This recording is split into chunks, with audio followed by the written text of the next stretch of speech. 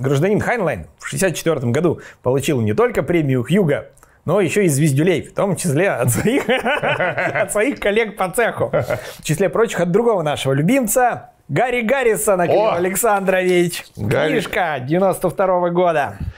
Классику. Клим Александрович, прежде всего, я тебе страшно завидую, потому что я не успел, а имел все возможности добежать и познакомиться лично с Гарри Гаррисоном. А тебе это удалось. Дважды мы с ним общались, да. Выпивали всякое полезное и вкусное. И Гарри Гаррисон в 1964 году пишет памфлет «Билл – герой галактики», который является жесточайшей сатирой, самой едкой, которую можно придумать, и при этом самодостаточным произведением. Безусловно, потому что как он, и когда я читал это в глубоком детстве, я даже не знал, что это он издевается над Хайнлайном. И все равно было смешно. Было местами. дьявольски смешно. Билл так до конца и не понял, что причиной всему с ним дальнейшем случившемуся был секс.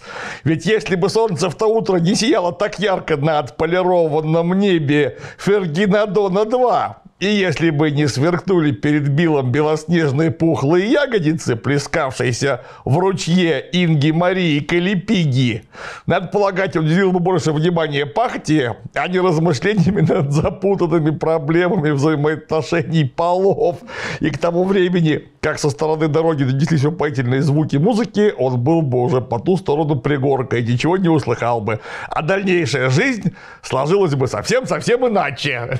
Первая фраза книжки. Ну и потом, конечно, как он, блин, этого... Лагерь имени Артура Карри, да, за время существования лагеря имени Льва Троцкого обучение там прошли 89 миллионов 672 тысячи 899 новобранцев. Лагерь здесь назвали вместо Артура Карри. Лев Троцкий. Льва Давыдовича.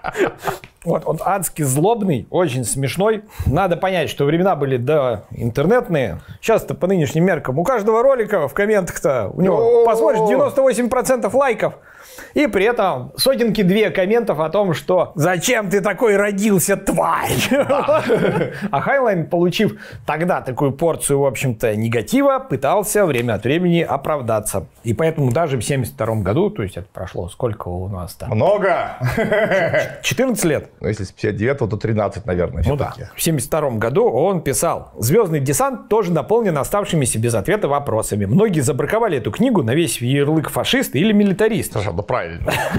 Они не хотят или не умеют читать. Эта книга ни то, ни другое. Она написана как предельно серьезная, но не полная. То есть вы меня неправильно поняли. Но не полное исследование, почему люди сражаются. А поскольку люди действительно сражаются, то эта проблема заслуживает изучения. Ну, то есть он таки нет, не поймите неправильно, я не вот про это, не про марши с факелами. Тем не менее, как мы могли убедиться, эта книжка и вправду отражала взгляды Хайнлайна. Он, безусловно, не был фашистом. Он, безусловно, был милитаристом и, скорее всего, шовинистом. И при этом, надо отдать ему должное, он и в других своих произведениях изучал совершенно другие типы социального строя, пытаясь их изобразить. Например, вот вот, Луна, как она, Луна жестко стелит, Луна жестокая хозяйка, хозяйка, да, как-то так. которую ты вспомнил, это, безусловно, общество, Moon is Hard Mistress, как-то она так это, по-моему, называлось по-английски. да, общество победившей анархии. Причем вот с чем не мог Хайнлайн расстаться, в принципе, общество, победившей анархии, у него все равно капиталистическое.